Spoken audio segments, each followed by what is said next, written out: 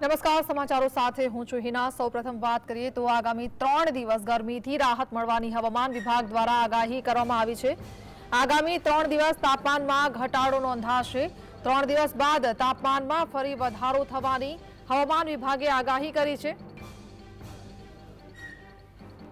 ત્રણ દિવસ બાદ તાપમાનમાં બે થી ત્રણ ડિગ્રી વધારો નોંધાઈ શકે છે જેથી ત્રણ દિવસ લોકોને ગરમીથી રાહત મળશે રાજ્યમાં સૌથી વધુ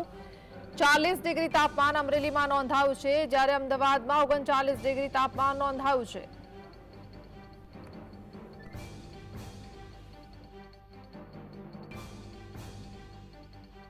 There was uh, dry reported during the last 24 hour. No heat wave reported over the region and maximum temperature reported Amreli which is 40 degree centigrade and at Ahmedabad it is uh, 39.5 degree centigrade uh, जो कि हम uh, जो देख रहे हैं minus two point one degree centigrade below with compare to eighteen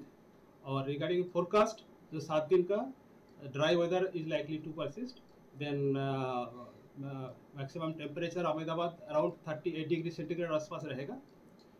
And there will be gradual no large change in temperature and uh, 2 to 3 degree centigrade uh, af- uh, after